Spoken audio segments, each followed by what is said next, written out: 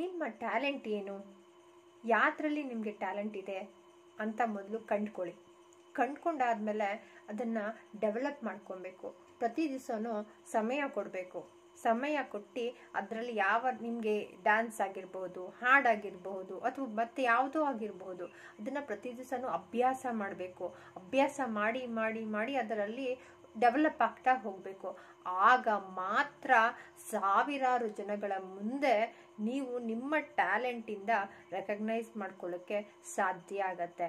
ಇಲ್ಲ ಅಂತ ಅಂದರೆ ನಿಮ್ಮ ಟ್ಯಾಲೆಂಟು ನಿಮ್ಮ ಜೊತೆನೆ ಕೊನೆ ಉಸಿರು ಎಳಿತೀರಲ್ಲ, ಅದ್ರ ಜೊತೆಗೆ ಹಾಗೆ ಸದ್ದಿಲ್ಲದೆ ಹೋಗ್ಬಿಡತ್ತೆ.